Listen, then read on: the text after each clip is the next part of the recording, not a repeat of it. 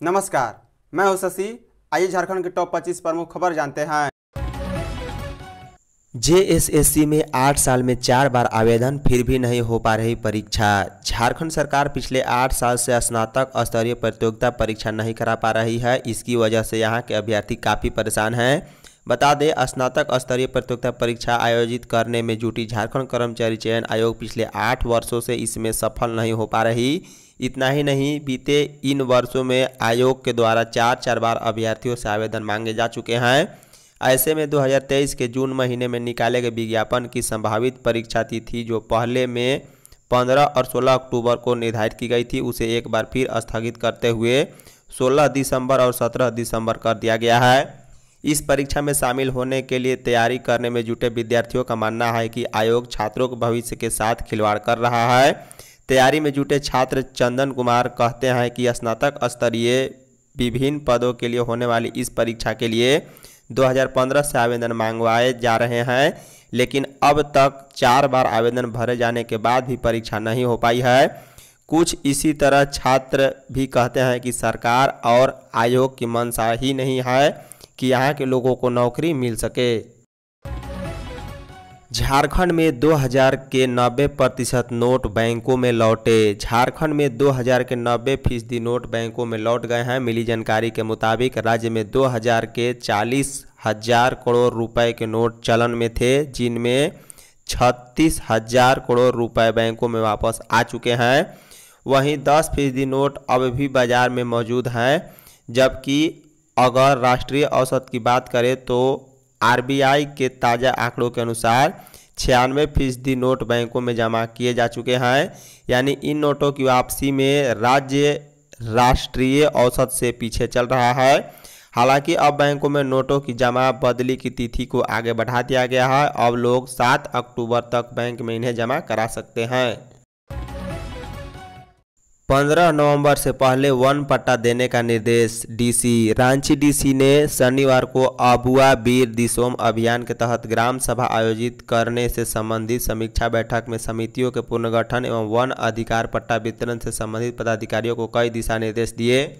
उन्होंने पदाधिकारियों से कहा है कि पंचायत चुनाव के बाद वन अधिकार अधिनियम 2006 में निहित प्रावधानों के तहत ग्राम स्तर पर वन अधिकार समिति, अनुमंडल स्तरीय वन अधिकार समिति एवं जिला स्तरीय वन अधिकार समिति का जल्द से जल्द पुनर्गठन करे। साथ ही टेबल वर्क और पेपर वर्क भी पूरा करे। उपायुक्त राहुल कुमार सिन्हा ने समन्वय ब्लॉक ए स्थित कक्ष में वीडियो कॉन्फ्रेंसिंग के ज़रिए की इस बैठक में पदाधिकारियों से कहा है कि योग्य आवेदनों की छानबीन कर, लंबित आवेदनों का ससमय निपटारा करें। साथ ही सभी प्रक्रिया को पूरा करते हुए योग्य लोगों को 15 नवंबर से पहले वन पट्टा देना सुनिश्चित करें।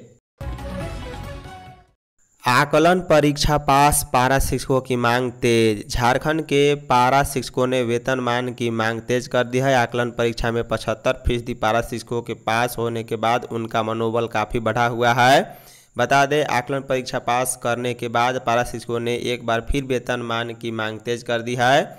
सहायक अध्यापक संघ ने जय की ओर से जारी प्रथम आकलन परीक्षा में पचहत्तर फ़ीसदी पास पारा शिक्षकों के पास होने पर खुशी जताते हुए कहा है कि यह प्रमाणित हो गया है कि सहायक अध्यापक योग्य हैं और सभी मानकों को पूरा करते हैं। सरकार ने पहले सर्टिफिकेट वेरिफिकेशन कराया, फिर आकलन परीक्षा ली है और उनके परिणाम भी अब सामने आ गए हैं। ऐसे में इन पारा शिक्षकों को वेतनमान दिया जाए। झारखंड में 6 अक्टूबर तक होगी तेज वर्षा। राजधानी में शनिवार की शाम झमाझम वर्षा से मौसम सुहाना हो गया। मौसम विभाग के अनुसार पूरे झारखंड में 6 अक्टूबर तक वर्षा होगी। इसे लेकर मौसम विभाग ने 3 अक्टूबर तक येलो अलर्ट जारी किया है। वहीं 4 से 6 अक्टूबर को भी वर्षा की संभावना बताई है। वर्षा के असर झारखंड समेत पश्चिम बंगाल और उड़ीसा में भी देखने को मिलेगा। बता दें, इस वर्षा से तापमान में भी चार से पाँच डिग्री तक गिरावट की संभावना है। इसी बीच शनिवार शाम को राजधानी रांची समेत कई इलाकों में झमाझम वर्षा से तापमान तीन डिग्री नीचे चला गया है। बता दें, अलर्ट जारी कर 30 सितंबर और 1 अक्टूबर को राज्य में कई जिलों में भारी वर्षा होने की संभावना जताई है। खतियान आधारित स्थानीयता हासिल करके रहेंगे सुदेश महतो। आयसू पार्टी के केंद्रीय अध्यक्ष सुदेश कुमार महतो ने कहा है कि खतियान आधारित स्थानीयता नीति झारखंड के मूलवासियों एवं आदिवासियों की सिर्फ़ एक मांग पत्र नहीं है, यह हमारे पूर्वजों का सपना है। इसके लिए झारखंड की धरती ने बहुत कुर्बानियाँ दी है। यह आज की पीढ़ी का एक दृढ़ संकल्प भी है। हम इसके लिए वैधानिक ढांचों के अंतर्गत तब तक ईमानदारी से लड़ते रहेंगे। जब तक इसे हासिल नहीं कर लेते, इसके लिए राज्य के युवाओं को यदि सिर पर कफन बांधकर भी निकलना पड़े तो हम सभी निकलेंगे। सुदेश महतो ने कहा है कि स्वर्गीय विनोद बिहारी महतो एवं शहीद निर्मल महतो के बलिदान को व्यर्थ नहीं होने देंगे। पूर्वजों ने इसके लिए अपनी जानें दी है और अब इसे हासिल करना हमारी जीत है। झारखंड में डेंगू का कहर 2023 में 1534 नए केस मिले। झारखंड में डेंगू के बढ़ते मरीजों की संख्या ने पिछले चार साल का रिकॉर्ड तोड़ दिया है। इस साल अब तक मिले मरीजों का आंकड़ा डेढ़ हज़ार को पार कर गया है। बता दें, राज्य में शुक्रवार को भी डेंगू के इकतालीस नए मिले हैं। वहीं इसमें अकेले उन्नीस मरीज़ पूर्वी सिंहभूम से मिले। इसके अलावा चतरा में सात पाकुड़ में पाँच, धनबाद में चार, दुमका में तीन, सिमडेगा में दो तथा हजारीबाग में एक मरीज़ मिले हैं। राज्य में इस साल जनवरी से अब तक डेंगू के पंद्रह तथा चिकनगुनिया के 240 मरीज़ मिल चुके हैं। हालाँकि राहत की बात यह है कि इस सप्ताह डेंगू के दैनिक मामले में थोड़ी कमी आई है। राज्य मलेरिया पदाधिकारी डॉक्टर वीरेंद्र कुमार ने कहा है कि राज्य में अब यह बीमारी घट रही है। पहले दैनिक मामले 50 से अधिक मिल रहे थे, अब इससे कम मरीज़ मिल रहे हैं और चिकुनगुनिया का भी शुक्रवार को कोई केस नहीं मिला है। झारखंड में खुलेगा वैदिक स्कूल। राज्य भर के मंदिरों में सेवा कर रहे पुजारियों को झारखंड राज्य हिंदू धार्मिक बोर्ड ने बड़ा तोहफा दिया है। अब पुजारियों को इलाज के लिए सोचना नहीं पड़ेगा। बोर्ड के द्वारा पुजारियों को पाँच लाख रुपए के स्वास्थ्य बीमा कराया जाएगा। बोर्ड के अध्यक्ष जयशंकर, पाठक की अध्यक्षता में शुक्रवार को हिनू स्थित कार्यालय में हुई तीसरी बैठक में तीन प्रस्ताव पास किए गए, जिसमें वैदिक स्कूल की स्थापना एवं पूर्व में तीन मंदिरों में गठित कमेटी पर अंतिम मुहर लगाई गई। बोर्ड के सदस्य राकेश सिन्हा ने कहा कि झारखंड में एक भी वैदिक स्कूल नहीं है।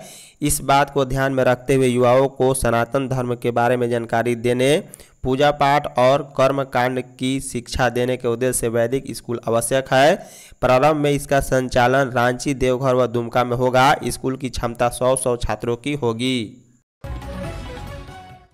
आईआईटी आईएसएम के छात्रों से रूबरू हुए superstar Akshay Kumar. Mission Raniganj the great Bharat rescue film IIT ISM के उन्नीस सौ पैंसठ बैच के माइनिंग इंजीनियरिंग के छात्र रहे। जसवंत सिंह गिल की बहादुरी एवं सूझबूझ की कहानियाँ बयां करती है। बता दें, सुपरस्टार अक्षय कुमार की यह फ़िल्म 6 अक्टूबर को रिलीज़ हो रही है। हाल ही में इंजीनियर्स डे के अवसर पर अक्षय कुमार ने अपने इंस्टाग्राम पर आईएसएम के सामने खड़े जसवंत सिंह गिल की तस्वीर पोस्ट की थी। एक बार फिर से आईआईटी आईएसएम चर्चा में है। अक्षय कुमार लंदन से वेबकास्ट के ज़रिए आईआईटी आईएसएम के छात्रों और प्रोफेसर से रूबरू हुए हैं। सबसे पहले हाथ जोड़कर सभी को नमस्कार किया है। झारखंड के विश्वविद्यालय व कॉलेजों में महिला सुरक्षा के लिए गाइडलाइन जारी। झारखंड के विश्वविद्यालय और कॉलेजों सहित उच्च शिक्षण संस्थानों में छात्राओं सहित महिला शिक्षकों, अधिकारियों व कर्मचारियों की सुरक्षा सुनिश्चित करने के लिए उच्च व तकनीकी शिक्षा विभाग ने गाइडलाइन तैयार की है। इसके तहत सभी विश्वविद्यालय व कॉलेजों में महिला सिक्योरिटी गार्ड की व्यवस्था करनी होगी। छात्राओं और महिला कर्मियों को कैंपस में फ़ोटो पहचान पत्र पहनना होगा।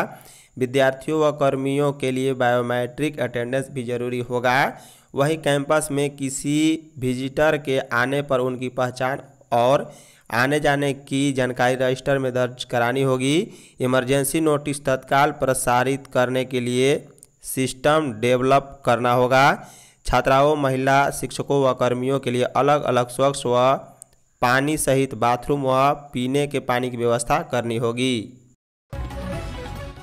पुलिस इंस्पेक्टर का रीडर पाँच हज़ार रिश्वत लेते अरेस्ट। गिरिडीह ज़िले के बेंगाबाद थाना में इंस्पेक्टर के रीडर की ज़िम्मेदारी संभाल रहे सिपाही दीपक कुमार को एसीबी धनबाद की टीम ने शनिवार की देर शाम को पाँच हज़ार रुपये रिश्वत लेते रंगे हाथ धर दबोचा है।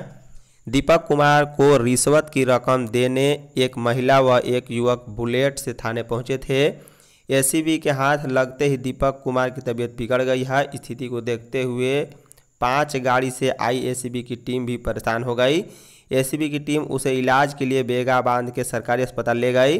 प्राथमिक उपचार के बाद दीपक को गिरिडीह सदर अस्पताल रेफर कर दिया गया है। पितरों को तर्पण देने साहेबगंज गंगा घाट पहुँच रहे लोग। पितरपक्ष शुरू होते ही झारखंड के एकमात्र जिला साहेबगंज से प्रवाहित होने वाली गंगा नदी के घाट पर लोग अपने अपने पितरों को तर्पण दे रहे हैं। साहेबगंज के नर्मदेश्वर सीढ़ी घाट पर पुरोहितों के माध्यम से पितृ तर्पण कार्य कराया जा रहा है। वहीं राजमहल, उत्तर वाहिनी, गंगा घाट, सूर्यदेव घाट में पुरोहितों के माध्यम से पितरों का तर्पण किया जा रहा है। पुरोहितों के मुताबिक हिंदू धर्म में गंगा नदी के तट पर पितृपक्ष करने का विशेष महत्व है। साहेबगंज जिला के अलावा संथाल, परगना के विभिन्न जिला सहित अन्य इलाकों के लोग भी पितृ तर्पण के लिए गंगा घाट पहुँच रहे हैं।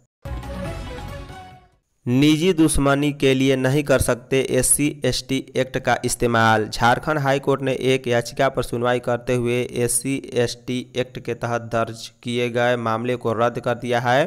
अदालत ने अपने आदेश में कहा है कि एससी, एसटी अधिनियम का विशेष कानून समाज के हाशिए पर रहने वाले वर्ग के हितों की रक्षा के लिए बनाया गया है।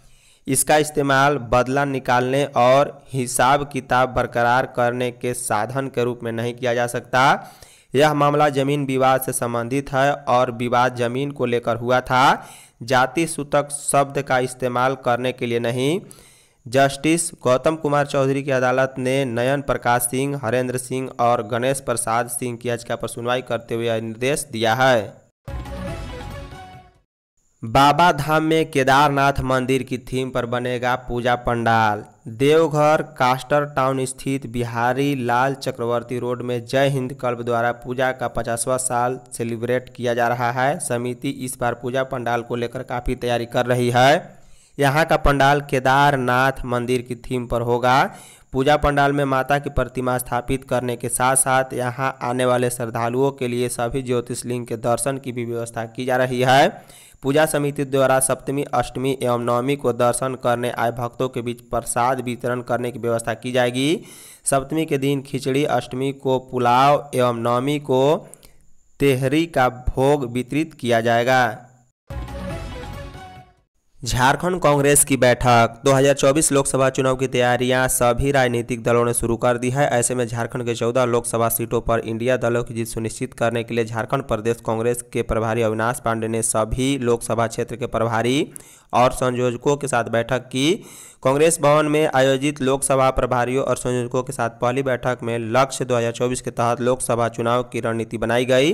बैठक में यह निर्णय लिया गया कि राज्य के 14 लोकसभा क्षेत्र में पार्टी जल्द जिला संयोजक नियुक्त करेगी, जो दल और इंडिया दलों के बीच बेहतर सामंजस्य स्थापित करने में सहायक होंगे। धन्यवाद।